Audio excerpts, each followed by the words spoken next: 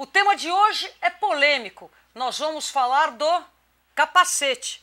De fato, o capacete pode salvar vidas, mas ele de nada adianta para prevenir contra o perigo de maus motoristas soltos nas ruas. O capacete foi projetado para proteger exclusivamente a cabeça de um ciclista numa eventual queda. Na esmagadora maioria das vezes, o ciclista sobrevive a essas quedas, porque o seu corpo não sofre um impacto maior do que a própria queda. Dói, mas sara.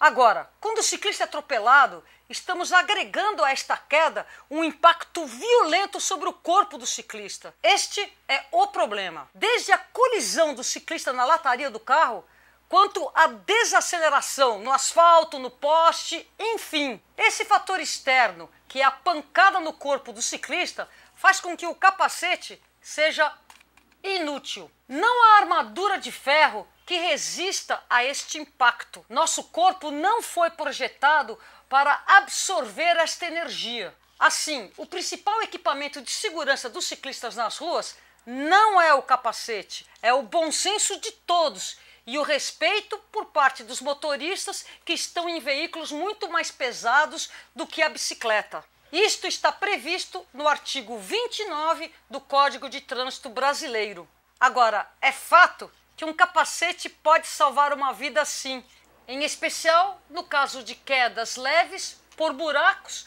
ou erros de pilotagem. Por causa disso, eu só pedalo de capacete. Gostou da dica? Inscreva-se em nosso canal, faça os seus comentários. Eu quero ouvir a sua opinião.